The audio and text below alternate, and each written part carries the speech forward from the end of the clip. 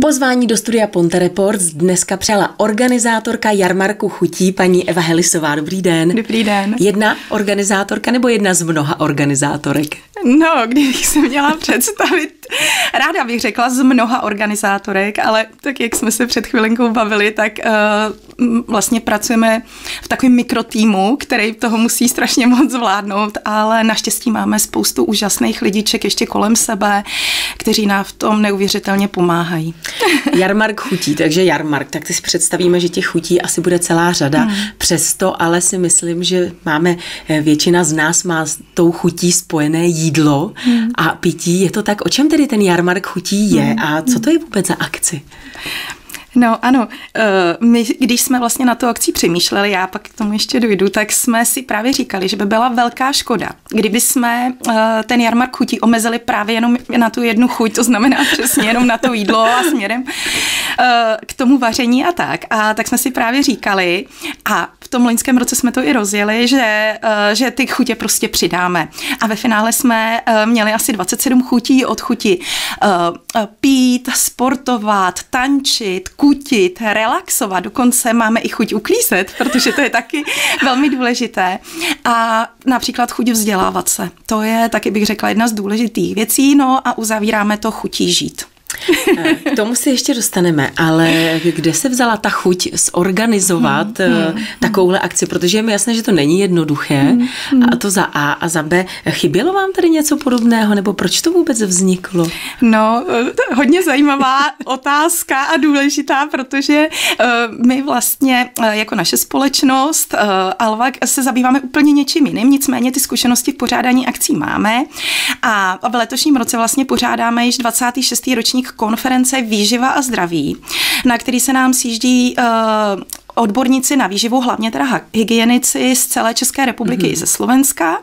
No a my jsme si pokládali otázky už uh, poměrně dlouho, uh, když jsme jako lajci seděli v sále a poslouchali jsme ty odborníky, že je velká škoda když některé ty uh, přednášky nezazní před širokou veřejností, hmm. že tam zaznívá tolik zajímavých uh, jako fakt o výživě, které jsme se domnívali, Eh, které my jsme, když jsme si je vyslechli, tak jsme si pak říkali, to musíme prostě nést dál tu informaci.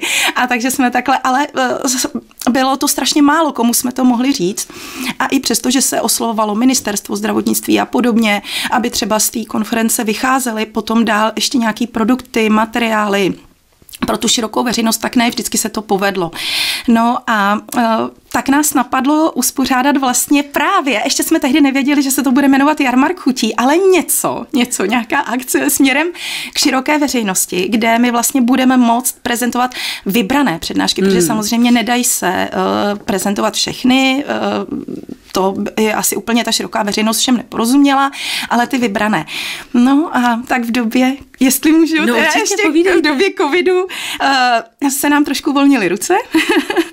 A řekli jsme si, že asi nastal čas se do toho pustit. No, všechno špatný je pro něco dobrý, ano, to tak ano, je. Ano. No, já jenom totiž mě zaujalo, já když jsem se koukala na vaše stránky, tak tam bylo mimo jiné, co tam tedy všechno bude, k tomu se dostaneme, ale bylo tam přednášky o zdravé výživě, například zdravá výživa i další palčivá témata. Je to hmm. vnímáno společností jako palčivé hmm. téma zdravá hmm. výživa? Mně to hmm. přijde, že zrovna hmm. dneska nebo aktuálně je to takový boom, že hrajeme na to hmm. bio a hmm. eko a ta zdravá výživa, že rezonuje tou společností. Hmm. Není to tak? Když teda to vnímáme jako to palčivé téma. No, to je taky hezká, moc hezká otázka, protože uh, já, když se bavím s odborníky na výživu, právě co to je zdravá výživa, tak to je velký téma teď jak to, co nazvat tou zdravou jak výživou uchopit. a jak to uchopit, přesně tak, protože uh, řeknu, uh, lidí, co informuje o zdravé výživě, o stravě a podobně strašně moc, já bych to uh, přirovnala k tomu, že každý, kdo trošičku zubne, týká se to hlavně nás žen, ano. bych řekla. Může teda, ano, to jsou takový ty samozvaní taky, výživoví ano, poradci. ano, přesně tak.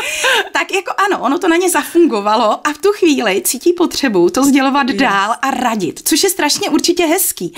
Nicméně mě, eh, já, eh, když zase vnímám ty odborníky, tak je opravdu strašně důležitý eh, dávat ty informace vlastně té široké veřejnosti tak, aby za nima byly studie, tak, aby ty lidi dostali ty informace mm, objektivní. A proto, když vlastně my jsme si řekli, že bychom rádi něco udělali takhle pro širokou veřejnost, tak jsme nejdřív to prezentovali na třetí lékařské fakultě Univerzity Karlovy Praha, která se stala vlastně naším partnerem Samozřejmě na městě Teplice a u jiných partnerů ještě vlastně na UJEPu v Ústí nad Labem. A setkali jsme se s neskutečným zájmem. Jo, všichni hmm. říkali, že vlastně i oni potřebují najít cestu k té široké veřejnosti, jak můžou prezentovat právě ty svoje Eh, ty svoje studie, studie hmm. a uh, právě ty nabité zkušenosti. Ty nabité zkušenosti, hmm. ano, přesně tak. No, no ona Takže spousta lidí bylo... má spojeno milně samozřejmě, hmm. teď nemyslím, že já jsem se k tomu taky časem musela propracovat, že zdravá výživa znamená jenom dietní výživa, no, že je to, to, to že vůbec. budeme no. hubnout a hmm. to je jako hmm. taková hmm. rovnice, ale ono no. tak není. No, no, právě není, není, není. Uh, ono je teda i těžký, protože my jsme si, teď já uh, uh, přeskočím jako přímo konkrétně k těm, eh, k těm jednotlivým přednáškám. Ono je totiž těžký i vybrat ty přednášky. Eh, aby to Jak, zaujalo. Aby to zaujalo. Zase ten den eh, není možné jich mít jako spoustu, takže pro letošní rok jich máme šest. A teď, který, přesně jak byste řekla, jsou ty, jsou ty palčiva.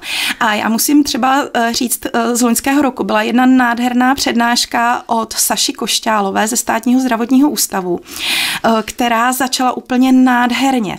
Ona řekla všem jako představte si tady na tom pódiu a tuším, že tady řekla asi 150 slonů a jenom vy, jenom vy ovlivňujete teda takhle, 150 eh, slonů a přibližně jakoby tolik uh, vy uh, sníte za celý svůj život, jo, jenom já jsem trošku přeskočila uh-huh. a jenom vy ovlivňujete, co vlastně dostáváte do toho svého těla uh-huh. a co za ten celý život vlastně vy, to vaše tělo přijme. A a vy jste ty, kteří, kteří to ovlivňují. A já bych řekla, že to tak jako tak zarezonovalo, hmm. že já vlastně ovlivňuji, co dostávám do toho těla. A dobře, můžu si dát. Uh, taky se bavíme se spoustou našich partnerů, když tam máme ten stánek nebo ten, je to zdravá výživa.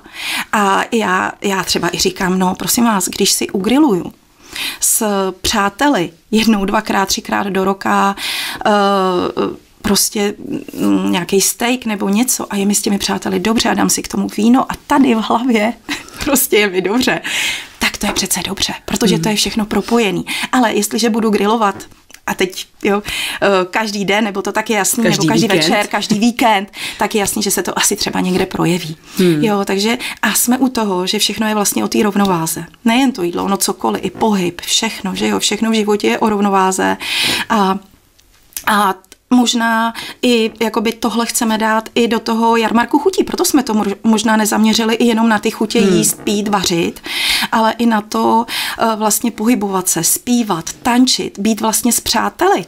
Jo, a to nám vlastně všechno utváří to chudžít a chudžít jako rád.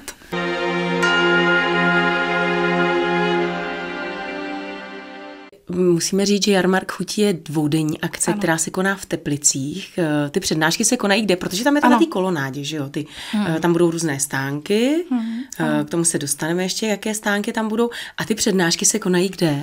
Ty se konají, Dům kultury nám nabídky hmm. Nosál, který má kapacitu asi 300 20 uh, eh, sedadel. My jsme, uh, protože se konají v pátek, je to všední den, 23. září, tak my jsme právě oslovili i školy, aby vlastně poslali své studenty a vyslechli si vlastně ty přednášky a samozřejmě může přijít i ta široká veřejnost. Tak a co tam tedy bude za stánky, na co se můžeme těšit konkrétně? Ano, už? ano, ano. Eh, těch partnerů máme opravdu strašně moc. Nám v loňském roce, když jsme to prezentovali před našimi partnery, s kterými spolupracujeme už dlouho, tak třeba společnost společnost Bondue, Lukáš Uher, který to letos bude i moderovat, tak nám třeba navrhl a říkal, pojďme tam udělat eh, pódium na vaření. A my jsme mm. říkali, to je ale výborný nápad. Jenže co to znamená? Pódium na vaření, profesionální kuchyň, přívod vody a podobně. Velkoplošná obrazovka, aby ty lidi věděli, co se tam na tom pódiu děje, jak se vlastně, aby viděli eh, ten detail toho, eh, té tvorby toho jídla. Eh, takže najednou před náma zase bylo jako taková výzva, jo, pojďme do toho, je to strašně zajímavý. Takže jsme to vlastně propojili i s tím pódiem na vaření, takže oslovili jsme třeba Markétu Hrubešovou, mm. která je velmi známá tím, že že ráda vlastně ráda vaří, vaří hmm. i pro děti. Dokonce jsme jí domluvili nějaké školky jako v Teplicích a v okolí, že by mohla ještě předtím vlastně si udělat takový svoje workshopy v těch školkách hmm. a vařit s dětmi, takže se mi strašně líbí, jak se to propuje. Protože a bude i letos? Bude i letos a jí se i tahle akce hodně líbí, máme od ní moc hezký ohlasy a vlastně na tom pódiu, ještě abych nevynechala Honzu Heřmánka, který moderoval už loni a bylo to úplně skvělý. Oslovili jsme třeba i hotelovou školu v Teplicích jo.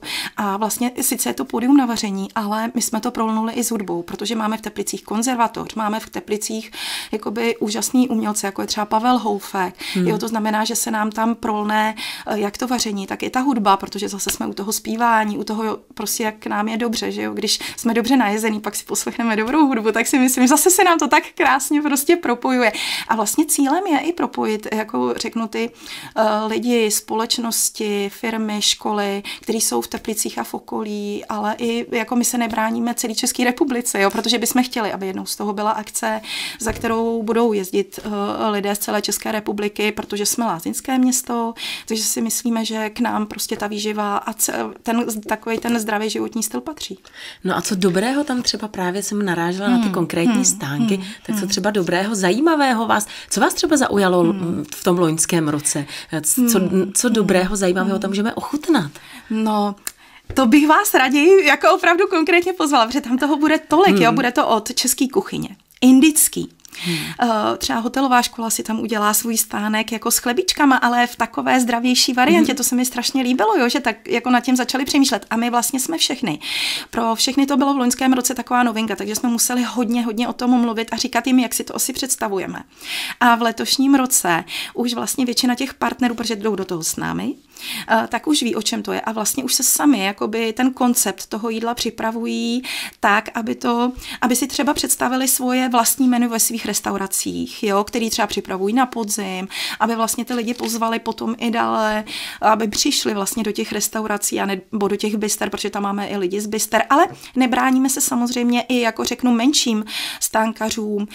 Bude tam i, budou se tam prodávat i kožené výrobky, hmm. produkty z Indie a podobně. Jo, abych to jako neuzavřela jenom jako, jsme neuzavřeli jenom takhle do toho jídla, tak jak jsme říkali na začátku. Eh, budou se tam prezentovat různé společnosti, mimo jiné třeba Severočeské doly, vracíme krajině její tvář. Navázali jsme úžasnou spolupráci s ministerstvem zdravotnictví, které nám vlastně nabídly, že by udělali pro mateřské školky představení v parku Vanda Standa. To znamená, že jsme oslovovali i mateřské školky, aby přišly v pátek i v sobotu. Bude mňam mňam bubík. Jo, takže to jsou, myslím si, takový taháky, věci, které vlastně jdou ruku v ruce s tou stravou, ale a teď asi je to, co my od toho očekáváme takovou tou přirozenou formou. To znamená zábavou. Protože když někomu budeme jakoby říkat, tak a teď musíš jíst hmm. tohle, musíš takhle, tak každý musím, nebo, nebo měl bych. A je, ještě ale... tam je, uh, bohužel máme stále spojeno s tím, že to, co je zdravé, není chutné, hmm, že jo, ne, není dobré. Přesně tak. Takže jim chcete ukázat, ano. že i když je to zdravé, zdravé tak, tak to je to chutné. Přesně si mohou tak. pochutnat. Ano, tedy. ano, ano. A to by vlastně měli říct i ty odborníci, jo. Ale budou tam, a vy, jak jste říkala, ty palčivá témata, máme tam nádhernou přednášku od Jitky Sosnovcové, také ze státního zdravotního ústavu o nádobí, protože ona o nádobí na konferencích výživa zdraví přednáší u spousty let.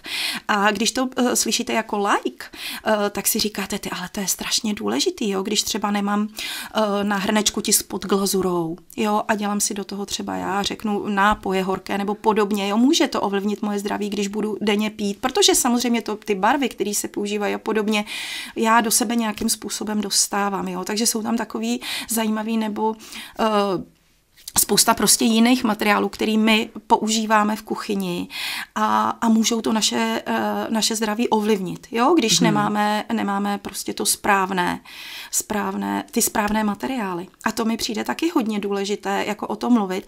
Uh, budeme mít třeba od pana docenta Dlouhého, který je jeden z garantů jarmarku chutí a je z třetí lékařské fakulty Univerzity eh, Karlovy, tak bude mít otravy z potravy.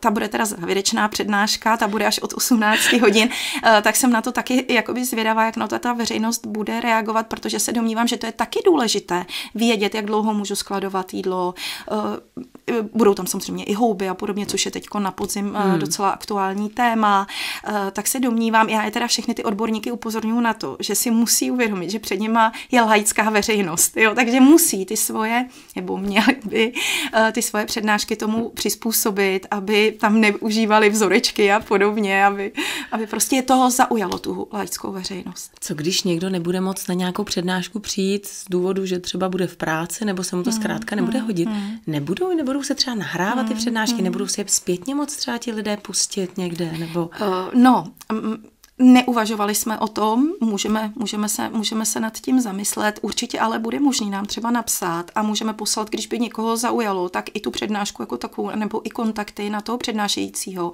eh, což jsme třeba měli v loňském roce jakoby taky nádherné odezvy, protože byly třeba alergie z potravy, eh, to byla tuším Dana Hrnčířová, a uh, tam vlastně alergie z potravy, když si uvědomíte, kolik lidí má alergiků v rodině. Hmm. Takže zase palčivé téma.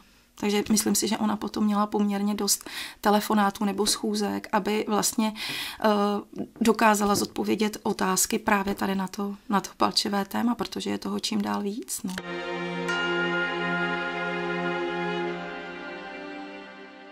Vím, že to mají lidé rádi, hmm. to jsou soutěže, takže hmm. se bude i hmm. soutěžit, bude. nebo už se soutěží hmm. ještě, hmm. myslím, že ano, 14, soutěží. že už se soutěží. Soutěží, my jsme spustili 100 dní před akcí uh, soutěž o 100 cen, uh, takže uh, se můžou lidé nahlásit na jar, www, když si vygooglí jarmark chutí, www.jarmarkhutí.cz, takže tam už uh, ta, tu soutěž uvidí, může se přihlásit, my je budeme losovat. Uh, oni ještě před tou akcí se dozvědí, jestli vyhráli a tu výhru si vlastně vyzvednou uh, na, na našem našem stánku mm.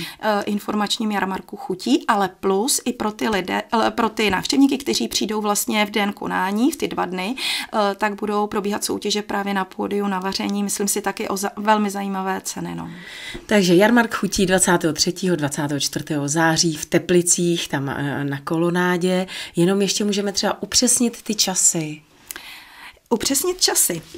Určitě, no tak to, toho bude, kolik, toho, toho bude hlavně strašně ten pátek, moc. Ten že pátek, kolik se ano. bude začínat, jenom zhruba ano. v kolik budeme začínat a ano. v kolik bude akce končit, ano. aby lidé tam nepřišli buď to hmm. moc brzy nebo pozdě. Bude toho opravdu hodně. To znamená, že my v kinosale nám začínají přednášky v 10 hodin a poslední přednáška končí v 18 hodin a to je kinosal Domu kultury.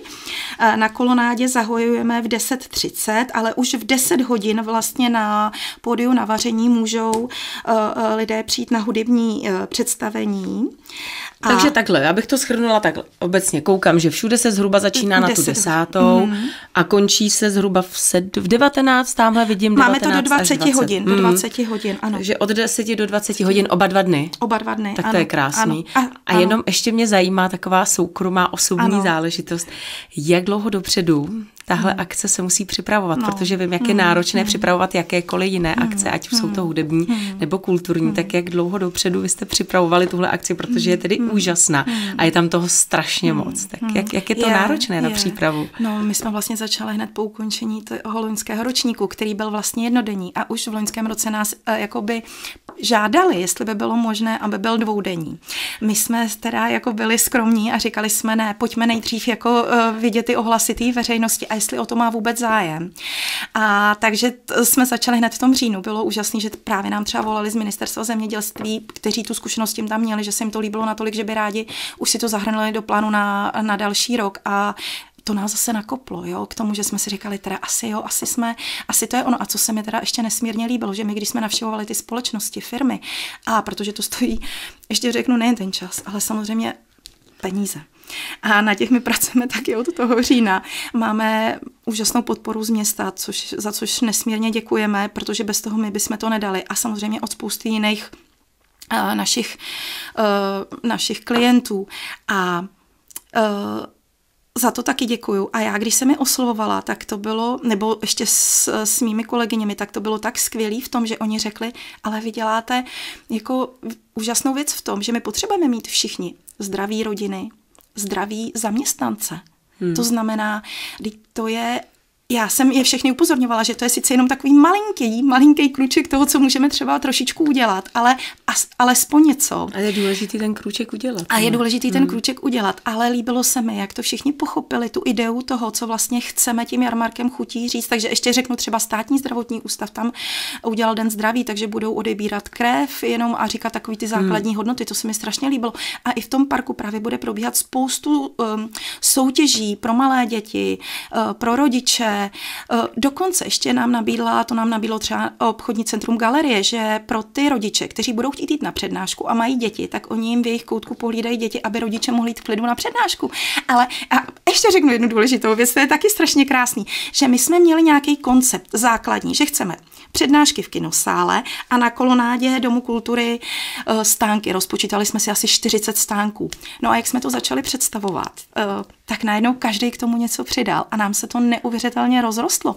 Takže to mě jako strašně těšilo, že se k tomu každý přidal. A já jsem říkala, eh, že takový, jaký si to vlastně s těmi partnery uděláme, takový to budeme mít a ničemu se nebráníme. Nebráníme se žádnému nápadu, žádný myšlence, protože si myslím, že Eh, že je to důležitý udělat si prostě dva dny v roce klid, pohodu, eh, setkat se s přáteli. My jsme to viděli v tom loňském hmm. roce po covidu, kdy vlastně dva roky nebyly žádné akce a to bylo něco tak nádherného. Vlastně vidět ty úsměvy a tu radost a předávat si ty informace, že, že to nás strašně těšilo. A přesto, že jsme teda všichni byli neuvěřitelně unavení z toho, z těch příprav, uh, za což bych teda strašně i moc chtěla poděkovat jako týmu v Alvaku, protože tak, jak jsem říkala na začátku, děláme to opravdu v mikrotýmu a, a já děkuji za to, že s tou myšlenkou, s kterou já jsem do toho týmu přišla, takže ji všichni vzali za svý a každým svým způsobem do toho, do toho přispěl. No. Tak je vidět, že to, co děláte, děláte za a ráda, že vás to baví, no. ale hlavně, že to má smysl, takže jen tak dál, já vám přeji samozřejmě hodně sil, hodně štěstí, hodně těch správných lidí kolem sebe, no a 23. a 24. se budeme těšit eh, v Teplicích na jarmarku chutí. Díky moc. Moc vám děkuju a všechny vás srdečně zvu. Děkuju. Mým dnešním hostem ve studiu Ponte Reports byla Eva Helisová.